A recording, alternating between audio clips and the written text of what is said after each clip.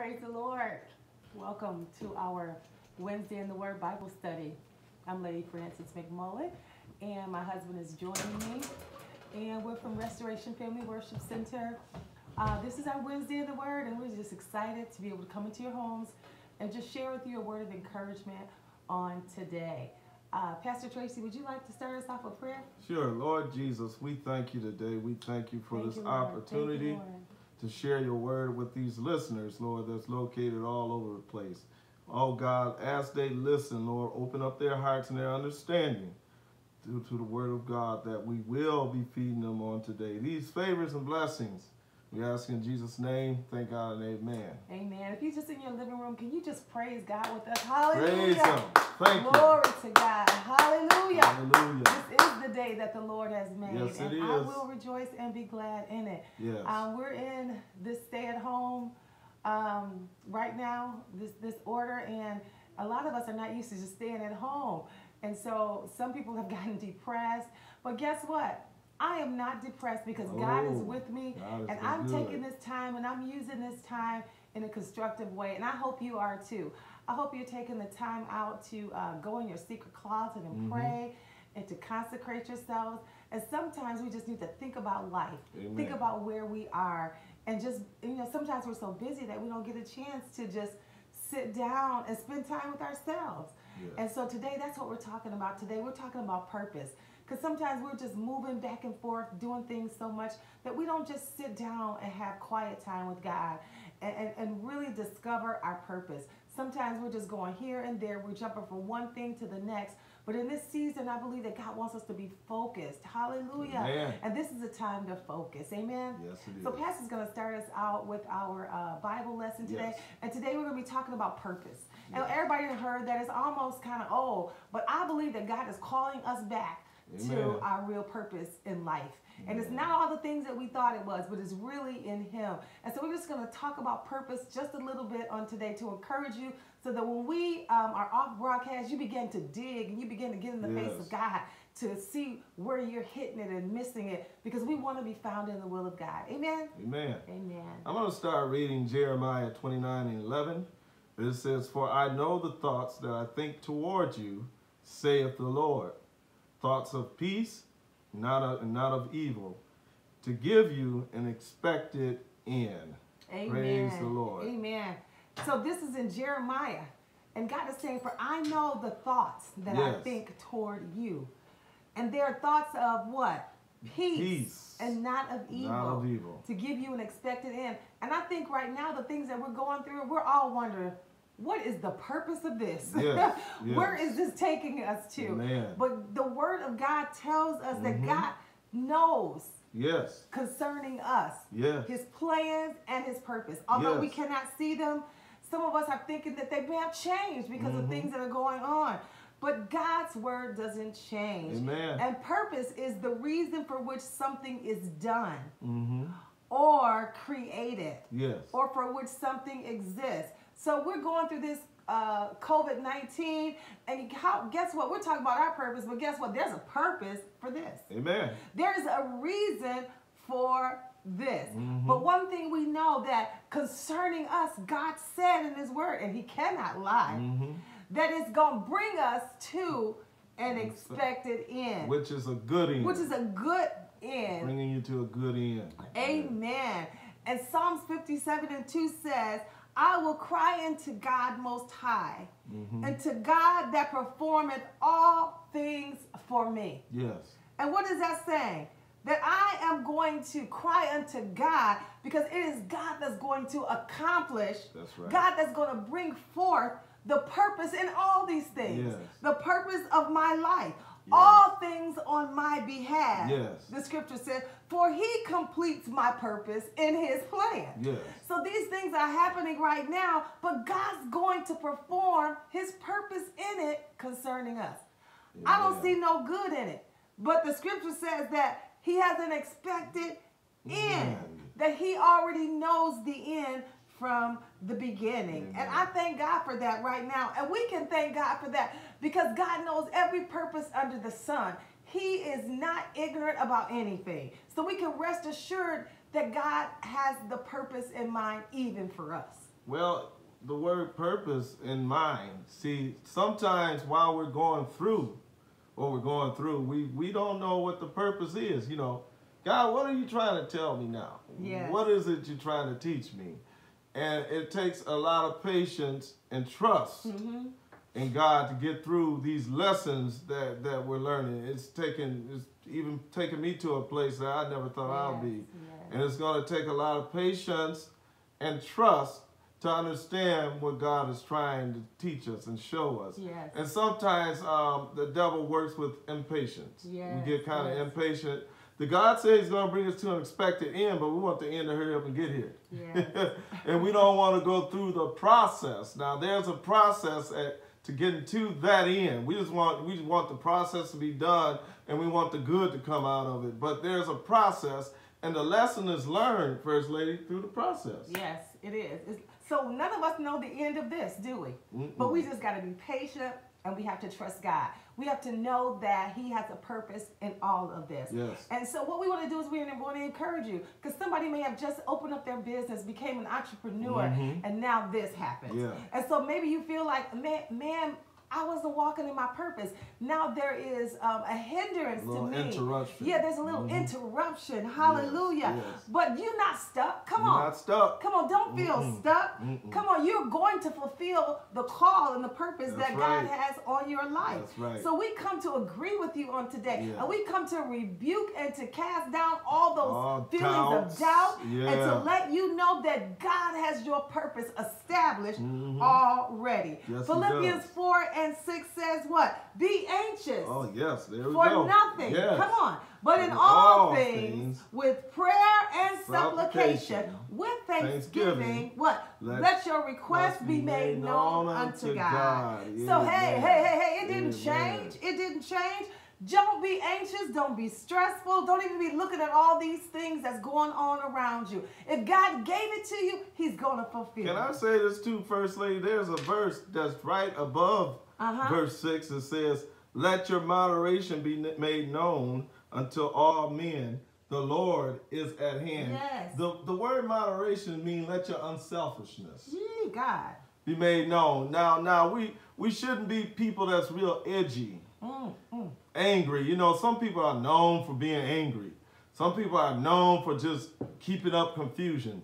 But we want to be known for being unselfish. Yes. We want to be known for being gentle. Yes. We want to be known for being kind. That's what Paul is saying in this verse. And sometimes the situation at hand can make you act another way. But Ooh, Paul Jesus. said, no, no, no. Don't let people know you for being that angry, upset person at what's going on right now in the world.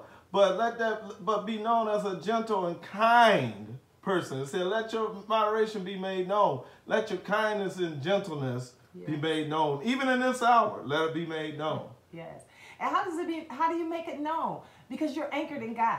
You know, Mm-hmm. I, I'm not worried about it because what he said is gonna come to pass. Yes. Mm-hmm. Nothing has changed with God. So therefore I can remain calm. Yeah. Come on, I don't got to be all stressed out There and you come go. unglued. There you go. You know, because I There believe what God said. He didn't Yes. change his mind, right? Yes. So if somebody um, is is kind of like um, edge, uneasy about where things are going Yeah. and how they fit into things, Mhm. God didn't change. He His didn't expected change. end is still there, Yes, and it it has not been interrupted. Glory, right. hallelujah, Hallelujah. Glory to God. hallelujah. But you must know that there is no purpose without God. That's it. Come on, there is no purpose without God. Mm-hmm. So, you know, right now our focus is being changed um, because we're looking at the news a lot and we're, we you know, just a lot of things Just going things on. But I just yeah. encourage you today to stay focused. There you go. To stay put. Yeah. To keep your mind on the word of Yes, God. So, how do I regain my footing? How do I regain my purpose? In prayer. That's prayer it. keeps you solid. Mhm. It keeps you from going, from being unglued. Amen. Yes. It helps you to not be anxious for anything, right? Yes. And then other the other thing is your word. That's it. Read the word Read of it. God. Get it in your heart. Get it in your heart. Yes. James 1 and 22 says, Do not merely listen to the word hmm a- a- and to deceive yourselves, Yeah. but do it. Do the word. Come on, this is the time to do the Yeah, word, y'all. yeah. This is the time to stand on Now the word is the time. of God. Amen, Amen. Amen. And then some of us, um, we start to doubt even our gifts and our purposes Mm-hmm. in times like these because you know my resources ain't here things ain't coming right and so Mm-hmm. therefore it cannot be but you know what this is the time when we ought to start stirring up those That's gifts it. in us Fine tuning them. this is the time that we start fine tuning them Yes. and exercising them amen Amen. this is the time for us to start exploring those passions that you know that Mhm. God has given That's you. it. That's it. Amen. And I found in the word, it was in Hebrew 13 and 21, and this is the New Living Translation. It says, May He equip you Mm-hmm. with all you need That's for it. doing His will. And may He produce in you, come, this is the time of production. May He produce in you, through the power of Jesus Christ, every good thing that is pleasing to Him. Amen. So in your purpose that he already has, he already knows and has an expected end. You don't have to worry about it because he's equipping you even equipping in this hour. Yes.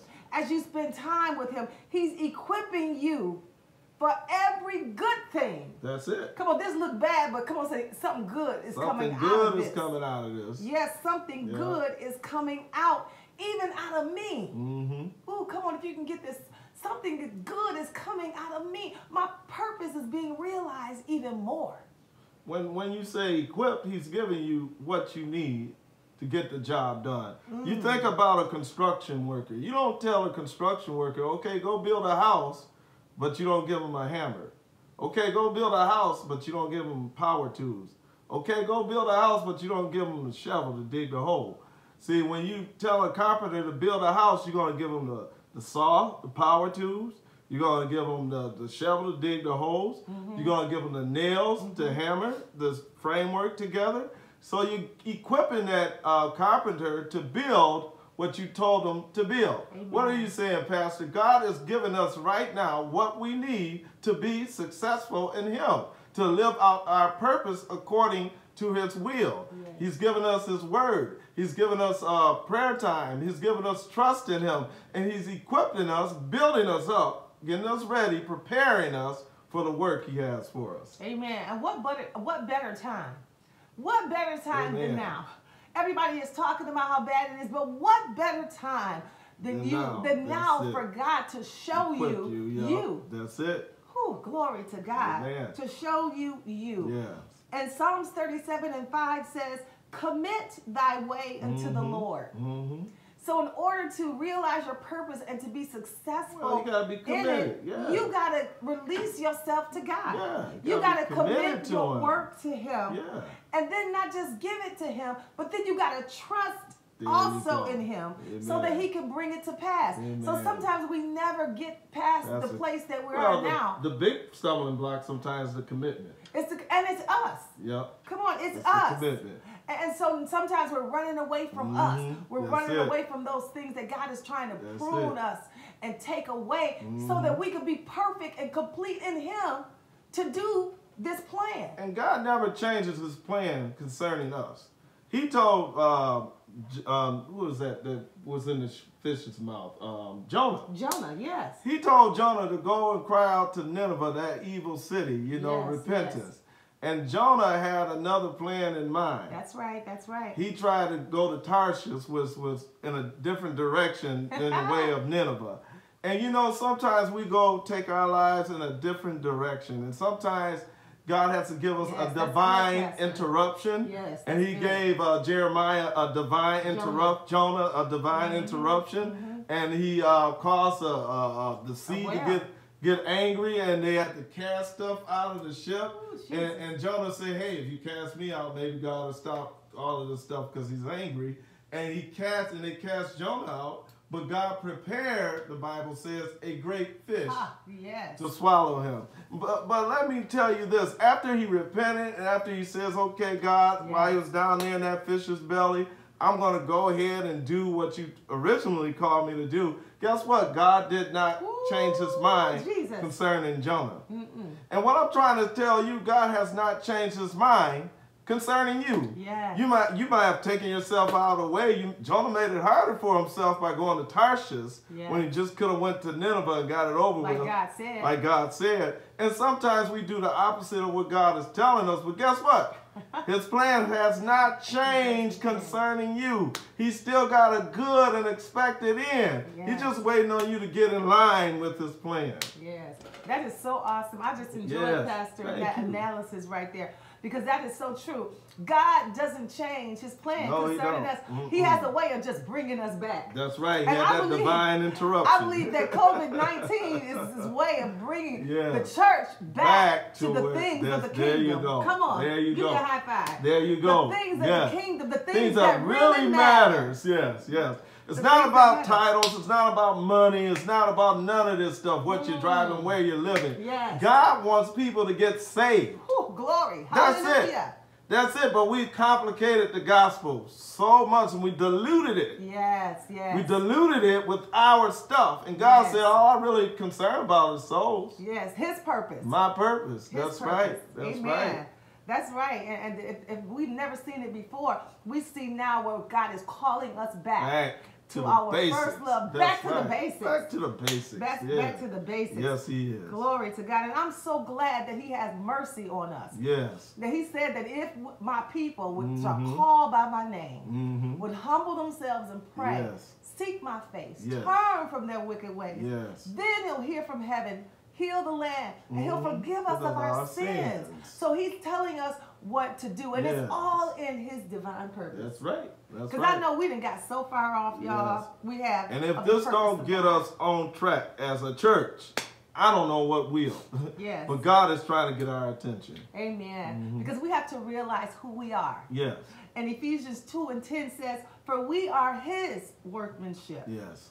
Created in Christ Jesus unto good works, Mhm. which God hath before ordained Yes. that we should walk in them. Mhm. That was his purpose. He made us, he ordained us Yes. So that we can walk in his ways His- already. His ways. Hallelujah. ours, And his his. purposes His purpose. for our lives. Yes. So God is working in us. Come on. yes. Philippians 2 and 13, the New Living Transla- Translation says, For God is working in you. Mm-hmm. He's working in us. Yes. He is giving us the the desire Yeah, and the power to, to do. do what pleases His him. And in the, yes, in the King Jer- James Mhm. version, it says that will and to do. they're the Mhm. will. It is Him that worketh in us the will and to do Do of His, His good, good pleasure. pleasure. So we have to let Him work the will and to do Mhm. of His good pleasure, pleasure. of His purposes. Yeah. And some of ours have become a little Yeah, diluted. got- it's gotten diluted. It's gotten yeah. a little, you know, yeah. but I thank God because He always brings us back. Yeah. Because, like it says in Jeremiah 29 11, just in case you don't know, Mhm. I know. Still got that he said, I for you. still know what I Mhm. planned for I you. planned for I you. still know the purpose I had for you in this earth. It Mhm. didn't change. My thoughts didn't change. And what you see now, you might see as evil, but he said, My plan is a peace. Mhm. And if you let me have my way, I'll bring you, Bring it to, that expected end. end. Sometimes we gotta get spanked Oh, and gosh. reminded, you know. But hey, after the spanking is over, the purpose hasn't changed. Amen. Amen. Amen. So we just hope that something we said on today stirs you on the inside Mm-hmm. to say, God, do it again. Yes. Save me again. Even if I'm not saved, well, Lord, I want to try you. I want to try your way. I want your direction in my life because where I've been going is taking me nowhere. Mhm. But we already saw in the Word of God how He has an expected end for us. Yes. So I want to yoke up with Him because Yes. I need to know where I'm going, or at least I need to be able to trust who's leading me. We're going to lead you in prayer on, on this Amen. evening that the purpose of God will be realized in your life.